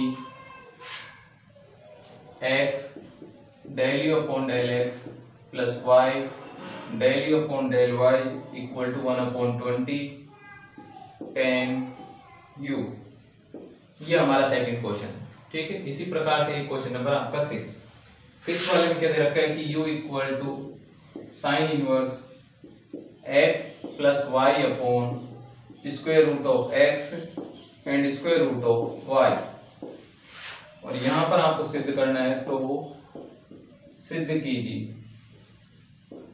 तो सिद्ध कीजिए। सिद्ध कीजिए, क्या x del u upon del x plus y del u upon del y equal to one upon two tan u ठीक है? इस तरीके से, इस तरीके से आपके क्या है? तीन क्वेश्चन हैं यहाँ पर। तो हम एक क्वेश्चन करते हैं, बाकी को फिर इसी तरीके से समझेंगे वहाँ पर कि हमारा क्वेश्चन को यदि, तरीका आपका सभी में यही होगा यहाँ पर। अब यहाँ पर सिंपल मैंने आपको जब एक्सरसाइज को स्टार्ट की थी तो उस समय हमने जो होमोजीनियस जो फ़ंक्शंस होते हैं, उनके बारे में चर्चा की थी यहाँ पर। कि हमारे जो होमोजीनियस फ़ंक्शन हैं, उनमें यदि अंदर जैसे साइन इनवर्स लगाए टेन लगा है कोट लगा है तो यहाँ पर उनकी जाँच कर नहीं सकते कि वो होमोजीनियस है या नहीं है। अब भले ही चाहे ऊपर एक एक घात के हो, नीचे हाफ़ हाफ़ घात के हो तो सोल्व करने को कुछ ना कुछ प्राप्त हो रहा हो यहाँ पर, लेकिन वो हमारा मैटर नहीं है। हमारा मैटर तो क्या है कि जब तक साइन इनवर्स यहाँ से हट नहीं जाता, तब तक इसके बारे में बता नहीं सकते कि ये होमोजीनियस है या नहीं है। तो सभी में यही पैटर्न होगा, जैसे पहले वाले की बात की जाए तो साइन इनवर्स हटे यहाँ से, तब जाके इसकी जाँच करें। साइन इनवर्स यहाँ से भी हटे, तब जाके इसकी जाँच हो। और साइन इनवर्स यहाँ से भी हटे, तब जाके इसकी जाँच हो यहाँ पर। ठीक है? तीनों में यहाँ पर। तो सबसे पहले हम क्वेश्चन नंबर सिक्स को समझते हैं, क्योंकि बाकी के जो है वो भी इसी तरीके के हैं। तो आपसे एक क्वेश्चन यदि हो जाता है तो आपसे बाकी के क्वेश्चन भी हो जाएँगे यहाँ पर। ठीक है? तो हम क्वेश्चन नंबर कौन सा लेकर चल रहे हैं? Six number. तो सिक्स वाले में सबसे पहला हमारा काम क्या होगा? साइन को यहाँ से हटाना। तो हम सबसे पहले काम भी यही करेंगे यहाँ से, साइन को हटाएँगे यहाँ पर। तो लिखा समीकरण को सॉरी क्वेश्चन नंबर इसमें। क्योंकि u बराबर हमें दे रखा है sine inverse x plus y divided by root x plus root y ठीक है? हमारा काम क्या होगा कि हमें जो फ़ंक्शन है उसको साइन इनवर्स से मुक्त करना है यहाँ पर। तो आप जानते हो कि उसके लिए क्या प्रोसेस होती है कि यदि मैं साइन इनवर्स को इधर ले जाऊँ तो बिल्कुल फ्री हो जाएगा यहाँ पर तो क्या लिख दिया? साइन को मैं इधर लाने पर मेरा हो गया साइन यू इधर हो गया एक्स प्लस वाई और डिवाइडेड बाई हो गया root x plus root y यहाँ से मैंने x को कॉमन ले लिया और नीचे से मैंने x की पावर एक बटे दो कॉमन ले लिया। तो ऊपर तो क्या रहेगा? यहाँ पर तो रहेगा क्या? मैं इसको लिख सकता हूँ वन और इसको कैसे लिख सकता हूँ? वाई अपॉन एक्स और यदि आप वन को भी थोड़ा और दिमाग लगा के लिखो तो मैं वन को भी क्या लिख सकता हूँ कि वाई अपॉन एक्स की पावर ज़ीरो ताकि हम कह पाएँगे कि जो मैंने लिखा है यहाँ पर जो फ़ंक्शन उसमें अंदर की सारी टर्म्स कौन सी है? Y upon x y upon y upon x form की है यहाँ पर। नीचे से हमने क्या कॉमन ले लिया था? एक्स की पावर एक बटे दो। तो यहाँ क्या बचेगा वन लेकिन वन को हम कैसे लिख सकते हैं? कि y अपोन एक्स की पावर ज़ीरो और प्लस y अपोन एक्स की पावर हाफ़ तो यहाँ देखा कि अंदर जो हमें फ़ंक्शन बचा हमारे पास, उसका प्रत्येक पद कैसा है? y upon x y upon x y upon x form का है यहाँ पर। इसको यदि मैं आगे सोल्व करूँ तो मुझे क्या प्राप्त होगा कि जो साइन u है, वो मुझे कुछ इस तरीके से मिलेगा कि x की पावर एक बटे दो, मैंने इसको किससे इंडिकेट कर दिया? कैपिटल F से। और क्या लिख दिया? Y अपॉन x तो मेरा जो साइन u है, वो इस तरीके का मुझे प्राप्त हो गया। यानी साइन यू के बारे में यदि मैं जानकारी दूँ तो मैं लिख सकता हूँ कि sine u is the function of power half कि sine u is the homogeneous function of power half कि साइन u आधी घात का या एक बटे दो घात का समघात फलन है यहाँ पर। इसके बारे में मैं ये कह सकता हूँ यहाँ से। और जब इसके बारे में ये कह सकता हूँ तो मैं आयलर का जो स्टेटमेंट है, वो भी यूज़ में ले सकता हूँ यहाँ पर। तो नेक्स्ट काम हमने यही किया। इसको मैंने एक समीकरण मान ली, और क्या लिखा? समीकरण एक। यहाँ पर लिखा, समीकरण एक समघात फलन है। समघात फलन है। अतः आयलर से। अतः आयलर से। तो आयलर से क्या लिख पाएँगे? आयलर से लिख पाएँगे कि साइन यू के बारे में लिख सकता हूँ कि x del upon del x sine u फिर लिख सकता हूँ y del upon del y और यहाँ लिख सकता हूँ साइन यू और बराबर कितना लिखता हूँ? एक बटा दो साइन यू क्योंकि हमने साइन यू के बारे में बताया था कि sine u is the homogeneous sine u is the homogeneous function of power half कि साइन यू हमारा समघात फलन है आदि घात का। तो साइन यू के बारे में हमने क्या लिख दिया? जो एन एफ़ लिखते थे तो एन का मान कितना है? एक बटे दो, और एफ़ कितना है? साइन यू तो दोनों को एक साथ कंबाइन करके हमने इस तरीके से लिख दिया यहाँ पर। ठीक है? सभी को दिखाई दे रहा होगा ये? चलो थोड़ा सा नहीं दिखाई दे रहा। ठीक है? अब दिखाई दे रहा होगा सभी। ये हमने क्या लगा दिया? यहाँ पर समीकरण एक में समघात वाला जो हमारा रिज़ल्ट है, वो हमने यहाँ पर अप्लाई किया। अब देखते हैं आगे। तो आगे हमारा क्या होगा? यहाँ से यहाँ तक तो हमने क्या ले ली? संघात जो हमारा फलन था, उसकी डेफिनेशन यूज़ में ले ली, उसको लिख दिया यहाँ पर। अब आगे हम इसको सॉल्व करेंगे यहाँ क्योंकि हमें तो क्या चाहिए? जो रिज़ल्ट हमें प्रूव करना है, वो चाहिए। तो इसका एक पार्ट यदि आप देखो तो उसमें साइन यू एक्स्ट्रा आ रहा है, बाकी तो हमारा जिसका लेफ़्ट हैंड साइड है, वो कंप्लीटली क्या हो रहा है? वेरीफाई हो रहा है यहाँ पर। ठीक है? फिर भी हम क्या करेंगे यहाँ पर इसको? जो प्रूव करना है, उसमें से साइन यू को यहाँ से हटाएँगे। तो साइन यू को हटाने के लिए क्या वर्किंग प्रोसीजर होगी? तो मुझे साइन यू का डिफ्रेंशिएशन करना होगा विद रेस्पेक्ट टू एक्स यहाँ पर। क्योंकि एक्स के लिए हो रहा है ना यहाँ पर तो क्या लगा हुआ डेल अपॉन डेल एक्स लगा हुआ इसका मतलब साइन यू का आपको क्या करना है? अवकलन करना है यहाँ पर। तो हमने जब साइन यू का अवकलन किया तो एक्स साइन का कितना हो जाता है? कोस यू और हमें क्या प्राप्त हो गया? Del u upon del x प्राप्त हो गया। आगे बढ़े यहाँ पर। तो यहाँ पर भी क्या प्राप्त हो गया? वाई और यहाँ पर प्राप्त हो गया कोस यू और बराबर, और क्या प्राप्त हो गया यहाँ पर? Dot del u upon del y भी मिला। क्योंकि जब यू का किया वाई के सापेक्ष तो कितना मिला मुझे? Del u upon del y बराबर में कितना था? एक बटा दो। और यहाँ पर कितना था? साइन यू मैंने एज इट इज़ नोट कर लिया। ठीक है? अब क्या करेंगे यहाँ पर? अब हमने इसको लिखा x del u upon del x और जो कोस यू था, उसको कॉमन ले लिया। और y del u upon del y और जो कोस यू कॉमन लिया, उसको किससे डिवाइड कर दिया? साइन यू से। तो यहाँ हो गया sine u divided by cos u और sine u divided by cos u equal to कितना होता है टेन यू तो क्या लिख दिया? वन अपॉन टेन यू और यही आपको यहाँ पर प्रूव करना था कि x del u upon del x plus y del u upon del y equal to कितना होता है? One upon two tan u यही आपको यहाँ पर दर्शाना था। तो इस तरीके से हमारे पास कोई भी क्वेश्चन होगा। जहाँ पर हमें इस तरीके के यदि रिज़ल्ट यदि प्रूव करने होंगे तो हम वहाँ से साइन इनवर्स हो चाहे कोस इनवर्स हो चाहे सेक इनवर्स हो, सभी को वहाँ से हटाएँगे। और हटाने के बाद फिर हम उसको सोल्व करेंगे यहाँ पर। ठीक है? तो एक बार आप इसको नोट कीजिए, फिर चलते हैं नेक्स्ट क्वेश्चन की ओर।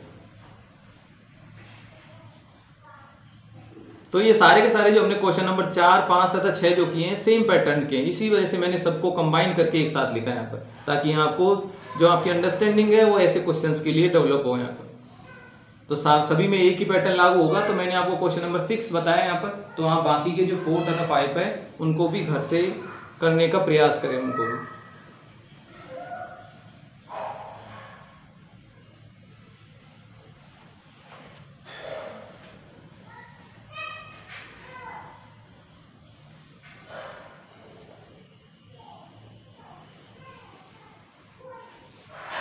और बाकी के जो क्वेश्चन है जिनके पास बुक नहीं है मैं उन, उनको एक जो आपकी एक्सरसाइज है उसका वीडियो अलग से बनाऊँगा यहाँ पर ताकि उसमें जो सारे आपकी जो एक्सरसाइज के जो क्वेश्चन है वो वहाँ पर आपको मिलेंगे वहाँ पर। तो आप उस वीडियो को भी देखना और जो अनसोल्ड आपके क्वेश्चन है उनको करने का प्रयास करना। जितने आप अनसोल्ड क्वेश्चन करोगे उतना ही आप पार्शियल डिफ्रेंशिएशन में मेच्योर होगे उनको करने के लिए यहाँ पर सोल्व करने के लिए। तो जब भी जब भी आपकी वो वीडियो डिले क्वेश्चनों की तो आप उसको ज़रूर सोल्व करने का प्रयास करना। ताकि आपकी जो अंडरस्टैंडिंग है वो डेवलप होगी क्वेश्चंस को सोल्व करने के लिए। तो अब चलते हैं नेक्स्ट क्वेश्चन की ओर। आई होप आप सभी ने नोट कर लिया होगा। अब चलते हैं नेक्स्ट क्वेश्चन की ओर। तो हमारे पास सात, आठ, नौ तथा दस ये आगे की जो क्वेश्चन है वो एक ही टाइप के हैं यहाँ पर। जो अभी अभी किया है उसी प्रकार के तो सात, आठ आपके ये भी इसी प्रकार के हैं। अब बढ़ते हैं आगे यहाँ पर।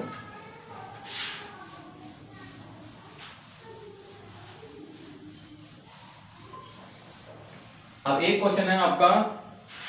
क्वेश्चन नंबर है नाइन नाइन में आपको इस टेक्नोमेट्रिक फ़ंक्शन की जगह आपको लॉगमेट्रिक फ़ंक्शन दिया गया यहाँ पर। दिया गया है u equal to log x की पावर तीन सॉरी चार है। एक्स की पावर चार एंड वाई की पावर चार। एंड डिवाइडेड बाई है एक्स प्लस वाई इस तरीके से आपको दिया गया है। तो सिद्ध कीजिए। तो सिद्ध कीजिए कि x del u upon del x plus y del u upon del y equal to three ये आपको यहाँ पर दिया गया है, ठीक है? और यही आपको दर्शाना है पर। तो हमारे पास वही हमारा पुराना मेथड कि हम लोग के अंदर से इसकी जाँच नहीं कर सकते कि हमारा जो फलन है वो समगात है या नहीं है। तो किसी भी प्रकार से लोग यहाँ से हटे। तब जाके आप आयलर के स्टेटमेंट यूज़ में ले सकते हो और तब उसके बारे में कुछ कह सकते हो कि हाँ ये एक क्या है? समगात फलन है। तो पहला काम आपका क्या होगा? लोग को यहाँ से हटाना। लोग को हटाना। आप जानते हो कि लोग जब एक पार्ट से, कि लेफ़्ट हैंड साइड से राइट हैंड साइड में या राइट हैंड साइड से लेफ़्ट हैंड साइड में जब जाता है तो वह एक्सपोनेंशियल फ़ंक्शन के रूप में कन्वर्ट हो जाता है। तो यहाँ से जब लोग इधर जाएगा तो क्या बन जाएगा? e की पावर u और क्या बन जाएगा? यहाँ पर एक्स की पावर चार वाई की पावर चार and divided by x plus y यहाँ से मैं इसको लिखू तो e की पावर यू इक्वल टू मैंने क्या कॉमन ले लिया? एक्स की पावर चार कॉमन ले लिया। तो रिमेनिंग पार्ट जो x की पावर चार को मैंने कॉमन लिया तो वन बचा। वन को क्या लिख रहा हूँ? y अपॉन एक्स की पावर ज़ीरो वही पुराना तरीका है, ताकि यहाँ पर हम इसको कह सके कि हमारे जो फ़ंक्शन है, उसके अंदर की जो प्रत्येक जो स्टेप है, वो y अपॉन एक्स फॉर्म की है। और यहाँ कितना आ जाएगा? y अपॉन एक्स की पावर चार। And divided by y upon x की power zero and y upon x की पावर वन ठीक है? इस तरीके से मैंने इसको लिख दिया है। ठीक है? नीचे से मैंने किसको कॉमन ले लिया था? एक्स को कॉमन लिया था, तब जाके ऐसा बना था इसको सोल्व करूँ मैं यहाँ पर तो मुझे प्राप्त होगा एक्स की पावर तीन, और मैंने इस अंदर के पूरे फ़ंक्शन को क्या नाम दे दिया? कैपिटल एफ़ नाम दे दिया। मैं ऐसा इसलिए लिख रहा हूँ क्योंकि होमोजीनियस फ़ंक्शन के लिए हम जाने थे कि प्रत्येक होमोजेनियस फ़ंक्शन को आप इस फॉर्म में लिख सकते हो। तो इस फॉर्म को हमने क्या नाम दे दिया? समीकरण नंबर एक नाम दे दिया यहाँ पर कि यदि हमारे पास कोई फलन होमोजेनियस है तो आप उसे x की पावर n या y की पावर n के रूप में आप उसे कन्वर्ट करके लिख सकते हो। तो हमारा जो फलन था e की पावर u, उसको हमने ऐसा लिख पाए। अब लिख पाए तो e की पावर u हमारा जो फलन है, वो क्या है? एक समगात फलन है यहाँ पर। ठीक है? तो नेक्स्ट लाइन में यही लिखेंगे, चूँकि e की पावर u तीन घात का e की पावर u तीन घात का समघात फलन है। तीन घात का समघात फलन है। अगर यदि ये तीन घात का समघात फलन है तो कैसे लिख सकते हैं इसे? x del u upon del x लेकिन u तो तब आता जब u होता, यहाँ हमारा फलन तो कौन सा है? e की पावर u तो कैसे लिखेंगे? x del upon del x जो भी आपका फ़ंक्शन हो। तो फ़ंक्शन हमारा कौन सा था? e की power u plus y del upon del y function कौन सा था? e की पावर u इक्वल टू क्या आ जाएगा यहाँ पर? एन एफ़ तो n की वैल्यू कितनी है? तीन। और एफ़ हमारा कौन सा था? ई की पावर यू तो हमने इसको नोट कर दिया। ठीक है? हो गया यहाँ तक अब हम इसको सोल्व कर रहे हैं यहाँ पर। इसको यदि मैं सोल्व करूँ यहाँ पर तो मुझे कितना प्राप्त होगा? एक्स डेल यू अपॉन इसमें से भी जब e की पावर u का मैं u के रेस्पेक्ट में करूँ पहले तो e की पावर u मुझे मिलेगा। लेकिन u is the function of variable x तो क्या होगा? Del u upon del x again इसका हो जाएगा e की पावर u, और u का दोबारा किया तो del u upon del y equal to three e की पावर u e की पावर u यहाँ पर भी है और इधर को भी है तो दोनों जगह से कैंसिल कर दिया। तो क्या प्राप्त हो गया? x del u upon del x plus y del u upon del y equal to three बड़ा इजी क्वेश्चन है, बिल्कुल, देखो, कहीं पर भी कोई दिक्कत नहीं आई यदि हमारे कंसेप्ट क्लियर है होमोजेनियस फ़ंक्शंस को लेकर, कि हम जानते हैं कि जब हमारा जो फलन है, उसके साथ यदि एक्सपोनेंशियल टिग्नोमेट्रिक फलन या अनोदर कोई फ़ंक्शन हो तो वहाँ पर हम उसकी जाँच नहीं कर सकते होमोजीनियस में। तो इसके लिए हमने जो लोगमेथिक हमारा जो फ़ंक्शन था, उसको पहले हटाया। उसके बाद इसकी जाँच की तो ये कितना मिला आपको? तीन घात का समघात फलन मिला। और उसके बेसिस पे हमने आयलर का स्टेटमेंट लगाया, और हमारा रिज़ल्ट कंप्लीट हो गया। ठीक है? नोट कीजिए फिर चलते हैं एक नेक्स्ट क्वेश्चन की ओर।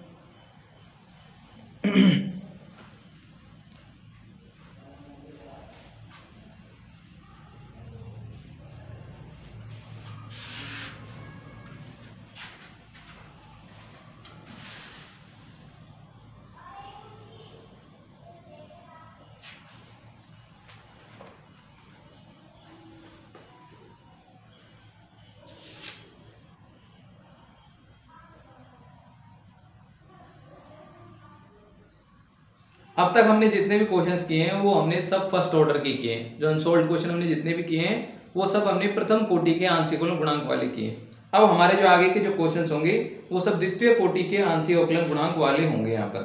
तो जितने भी जो नेक्स्ट क्वेश्चन है, उनको हम करेंगे यहाँ पर। तो अगला प्रश्न लिखता हूँ मैं यहाँ पर।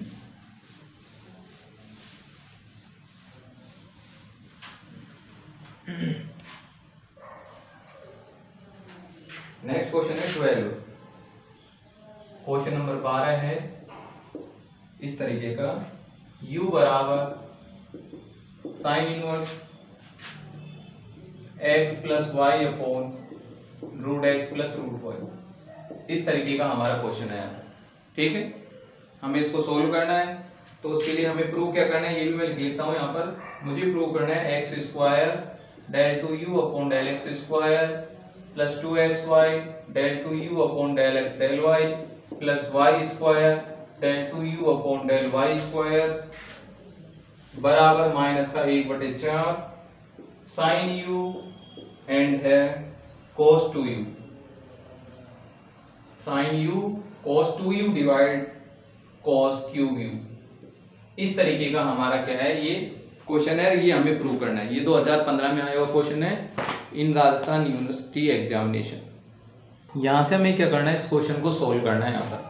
तो क्वेश्चन को सोल्व करने का तरीका हम जानते हो, किस तरीके से सोल्व करेंगे इसको? तो उसके लिए हमें यहाँ पर चाहिए सेकंड ऑर्डर के जो पार्शियल डिफ्रेंशिएशन हमें करना होगा, वो हमें यहाँ पर प्राप्त करना है यहाँ पर। तो सबसे पहले हमारा जो साइन इनवर्स है, वहाँ से साइन इनवर्स को हटाइए हम ताकि हमारा जो फलन है उसकी हम जाँच कर सकें कि वो समघात है या नहीं है। और समघात फलन है तो वो उसकी जो घात है वो कितनी है, ये हमें यहाँ पर जाँच करनी है। तो जो कि हमें दिया गया है, यहाँ पर इसको लिख लेते हैं कि u बराबर जो साइन इनवर्स है वो हमें दिया गया है x plus y upon root x plus root y ठीक है? यहाँ से यदि मैं इसको हटाऊं तो मुझे मिलेगा साइन u बराबर मिलेगा x मैंने ऊपर से कॉमन ले लिया और रूट एक्स नीचे से कॉमन ले लिया और यहाँ बचा y अपॉन एक्स की power zero and y upon x की power one and divided by यहाँ पर क्या आ जाएगा? y अपॉन एक्स की power zero plus y upon x की पावर एक बटा दो। ये मुझे यहाँ पर प्राप्त हो जाएगा। इसको यदि मैं आगे सोल्व करूँ तो मुझे मिलेगा x की पावर एक बटा दो और यहाँ आ जाएगा साइन यू यहाँ क्या लिख दिया? Capital F y upon x इसको ले लिया मैंने समीकरण नंबर एक। कि समीकरण एक मेरा जो साइन यू है, वो x की पावर एक बटे दो या कहूँ मैं एक बटे दो घात का क्या है? समघात फलन है। तो इसको मैं यहाँ लिख लेता हूँ। समीकरण एक एक बटे दो घात का, एक बटे दो घात का समघात फलन है। समघात फलन है। कि हमारा समीकरण एक एक बटे दो घात का समघात फलन है। अगर यदि ऐसा है तो हम इसके लिए आयलर का स्टेटमेंट क्या लिख सकते हैं यहाँ पर? आयलर प्रीमिस कि जब भी हमारे पास कोई फ़ंक्शन समघात होता है तो उस कंडीशन में आयलर का स्टेटमेंट यूज़ में लिया जा सकता है। तो कैसे लिखूँगा इसको? मैं लिखूँगा x del upon del x sine u plus y del upon del y sine u equal to एक बटे दो साइन यू इस तरीके से। ठीक है? साइन यू को आप डिफ्रेंशिएट करो तो क्या जाएगा? एक्स साइन का हो जाएगा कोस यू और मुझे मिलेगा del u upon del x y ये भी हो जाएगा कोस यू और मुझे मिलेगा del u upon del y बराबर में मुझे मिलेगा एक बटा दो और क्या मिलेगा साइन यू ठीक है? यहाँ से मैं इसको और आगे लिखूं तो मेरे पास आ जाएगा x del u upon del x plus y del u upon del y और कोस यू से मैंने इसको डिवाइड किया था, इस वजह से कितना आ गया? एक बटा दो. टेन यू मुझे मिला था यहाँ पर। तो ये हो गया मेरा दो नंबर यानी आयलर का जब मैंने स्टेटमेंट यूज़ में लिया तो मुझे ये परिणाम मिला। कि x del u upon del x plus y del u upon del y equal to one upon two tan u मुझे मिला यहाँ पर, ठीक है? अब आगे बढ़ते हैं इसको लेकर यहाँ पर, क्योंकि हमें तो सेकंड ऑर्डर का चाहिए। तो हमें क्यों ना समीकरण जो हमने दो प्राप्त किया, इसी का यहाँ पर डिफ्रेंशिएशन कीजिए अगेन यहाँ पर। तो ये काम हम यहाँ पर करेंगे। समीकरण दो का तो आगे लिखते हैं, समीकरण दो का एक्स के सापेक्ष, समीकरण दो का एक्स के सापेक्ष आंशिक अवकलन करने पर, आंशिक अवकलन करने पर। तो समीकरण दो का हम x के सापेक्ष आंशिक अवकलन करें तो हमें क्या प्राप्त होगा यहाँ से?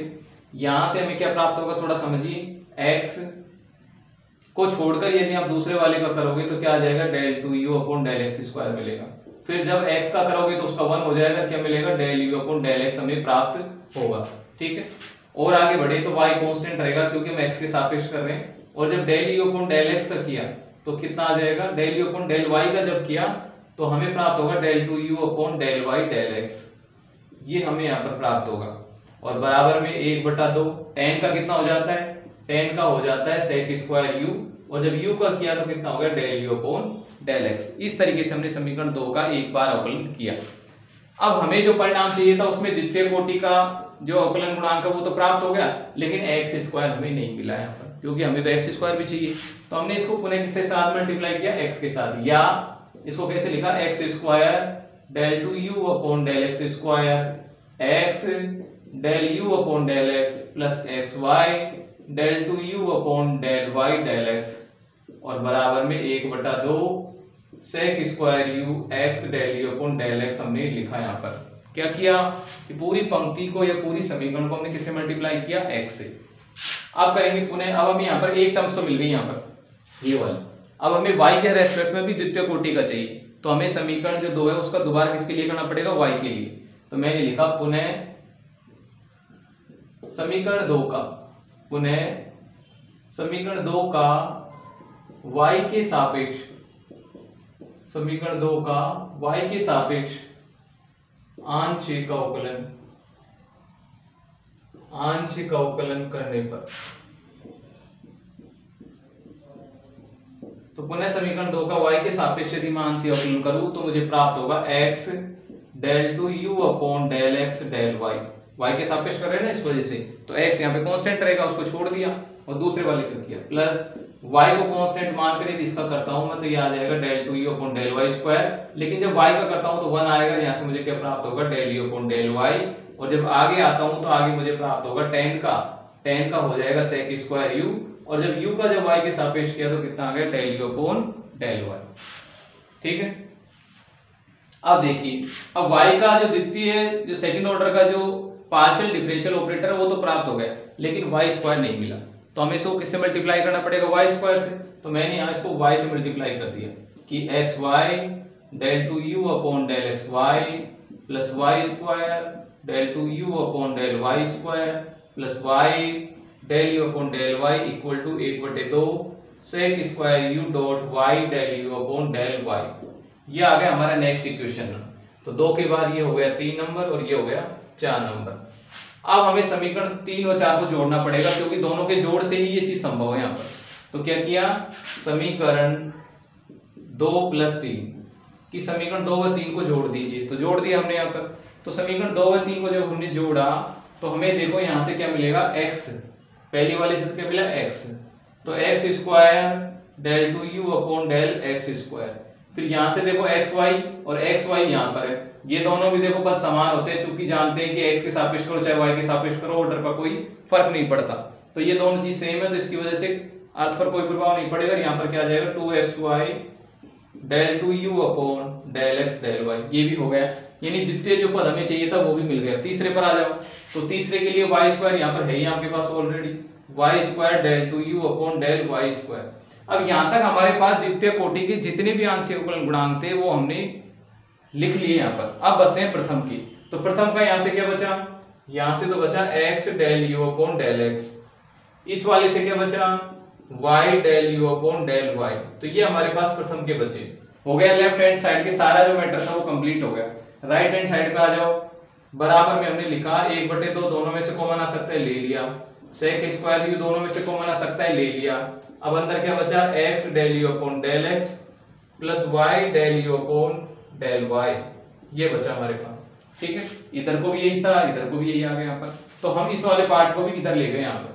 तो हमारे पास आ गया x square del two u upon del x square plus two x y del two u upon del x del y plus y square del two u upon del y square और जब मैं इस वाले part को भी इधर लेके गया तो मेरे पास क्या आ गया? देखो यहाँ से एक बटा दो sec square u minus one ये मुझे मिला। और साथ में क्या मिला?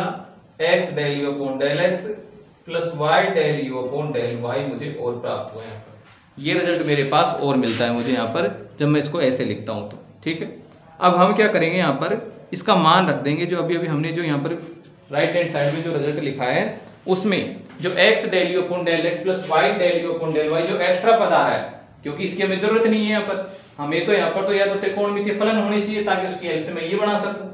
और इधर का तो लेफ़्ट हैंड साइड तो हमारा कंप्लीटली आ ही गया यहाँ पर, ठीक है? तो सिर्फ़ मुझे क्या चाहिए? उस चीज़ को वहाँ से हटाना है।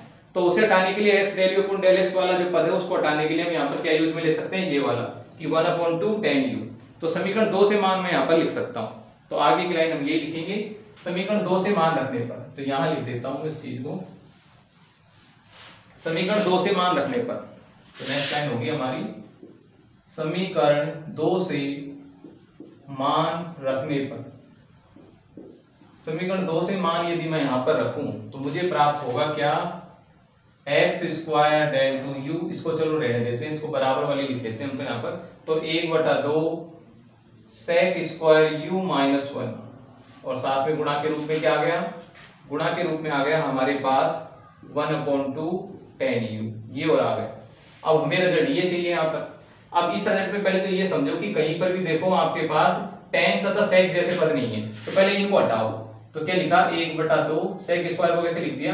कोस स्क्वायर यू तो नीचे आके क्या आ गया? वो एक बटा दो कोस स्क्वायर यू बन गया। माइनस वन को माइनस वन रहने दिया। एक बटा दो यहाँ जैसा था। टेन को कैसे लिख दिया? कि sine u upon cos u लिख दिया। ठीक है?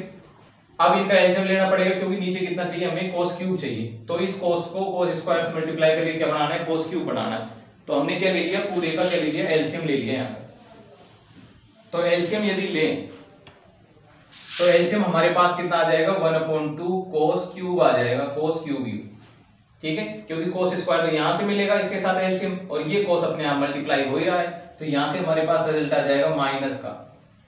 टू कोस स्क्वायर यू आ जाएगा यहाँ पर। क्या आ गया? माइनस का टू कोस स्क्वायर यू और बाहर क्या बैठा है? यहाँ पर बैठा है साइन यू और ये दोनों मिलकर क्या हो गए दो दो दूनी चार तो फोर कोस क्यूब हो गई। यानी नीचे वाला जो मैटर था, वो तो हमारा कंप्लीट वेरीफाई हो रहा है यहाँ पर। अब ऊपर हमें और बनाना है साइन यू भी आ गया देखो यहाँ पर। अब हमें इसको और बनाना है यहाँ पर। तो यदि इसमें से माइनस इन कॉमन ले लू तो ये हो जाएगा two cos square u minus one dot sine u and divided by four cos cube u ठीक है? अब हम जानते हैं ये हमारा फॉर्मूला होता है। कोस टू यू का फॉर्मूला होता है two cos square u minus one और या इसको साइन के पदों में लेना चाहो तो one minus two sine square u होता है। तो हमें तो कोस के पदों में चाहिए तो इसको मैं कैसे लिख सकता हूँ कि माइनस का। जैसा चाहिए, पहला पर साइन यू आ गया तो यू लिख दिया, और इसको मैं क्या लिख सकता हूँ? कोस टू यू तो क्या लिख दिया? Cos two u divided by four and आ जाएगा कोस क्यूब यू ठीक है? और ये आपको प्रूव करना था, यहाँ पर हेंस प्रूव यही हमें दिखाना था कि लेफ़्ट हैंड साइड जो हमारा ये हो तो राइट हैंड साइड की वैल्यू कितनी होती है? माइनस का sine u cos two u and divided by one upon four cos cube u तो इस तरीके से हम क्वेश्चंस को सोल्व करेंगे। हमारे पास किसी भी प्रकार का कोई भी क्वेश्चन हो तो हम उसे स्टेप बाय स्टेप जैसा हमने समझा है, या जैसा हमें जाना चाहिए, उस दिशा में चलते हुए उसको हम प्रूव करेंगे यहाँ पर। जो चीज़ क्वेश्चन में नहीं है, जैसे हमने देखा था यहाँ पर कि हमारे पास सेक्स स्क्वायर यू तथा टेन यू जैसे पद आ रहे थे। ये हमारे कोई काम के नहीं है, क्यों नहीं है? क्योंकि हमारे जो रिज़ल्ट था उसमें कहीं पर भी, ना तो सेक है, ना टेन है। तो हमने इनको चेंज किया साइन तथा कोस में, क्योंकि वही पद हमारे है वहाँ पर। जो चीज़ आपको चाहिए, उनको पहले अलग से लिख लो और जो चीज़ नहीं है, उसको बनाने की कोशिश करो। तो यदि आपका क्वेश्चन सही होगा, आपका करने का जो तरीका सही होगा तो उस कंडीशन में हमें रिज़ल्ट स्वतः प्राप्त हो जाएगा। ठीक है? तो नोट कर लीजिए आप इसको।